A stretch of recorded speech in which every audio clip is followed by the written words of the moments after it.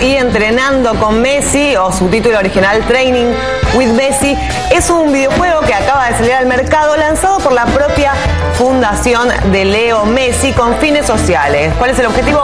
Ayudar a los chicos en situación de calle y lo presentaron esta semana, ya está disponible para BlackBerry y también para celulares iPhone y va a estar disponible para dispositivos Android dentro de muy poquito. ¿Cómo es el juego? Simple, justamente como su nombre lo indica, hay que entrenar con Messi. El objetivo es esquivar rivales y a medida que vas metiendo goles, como Lío, lo que podés hacer es ir cambiándote las camisetas.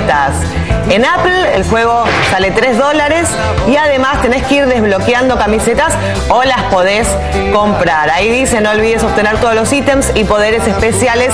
El objetivo es noble, es ayudar a la Fundación Leo Messi. Y recordamos también que esta semana se conoció la noticia de que Leo, bueno ya se sabía, va a seguir siendo la cara del FIFA 14 y va a llevar la remera del Barça. Según informaron desde la empresa Electronic Arts, lo que sucede es que por un lado hay un acuerdo con Leo, por el otro lado han arreglado con el Barcelona para que lleve su remera, tienen acuerdo hasta el 2015, así que Messi acapara las portadas de los videojuegos y con respecto a este, entrenando con Messi se juega con el acelerómetro, es decir, tenés que ir moviendo el celular para adelante y para atrás para entrenar y gambetear eh, las pelotas.